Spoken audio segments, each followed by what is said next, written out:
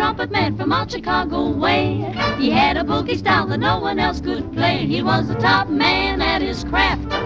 But then his number came up and he was gone with the draft. He's in the army now, a blowin' reveille. He's the boogie woogie bugle boy of Company B. They made him blow a bugle for his Uncle Sam. It really brought him down because he couldn't jam. The captain seemed to understand. Because the next day the cap went out and drafted a band, and now the company jumps when he plays reveille. He's the boogie woogie bugle boy of Company B. A toot, a toot, a tooty a tooty blows it eight to the bar. In boogie rhythm, he can't blow a note unless the bass and guitar is playing with him. He makes the company jump when he plays reveille. He's the boogie woogie bugle boy of Company B.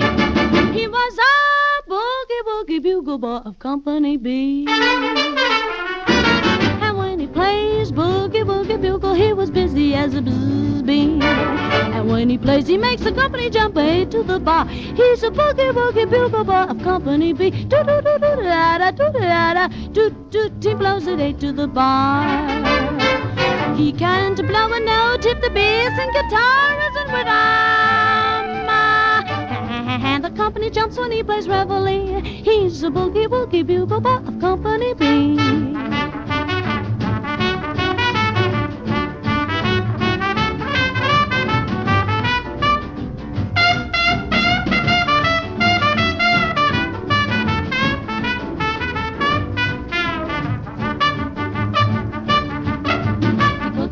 sleep with Boogie every night and wakes them up the same way in the early bright. They clap their hands and stamp their feet because they know how he plays when someone gives him a beat. He really breaks it up when he plays reveille. He's the boogie woogie bugle boy of Company B.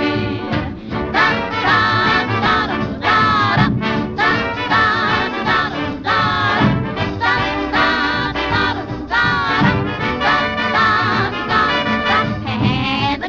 jumps when he plays reveille. He's the boogie woogie bugle boy of Company B.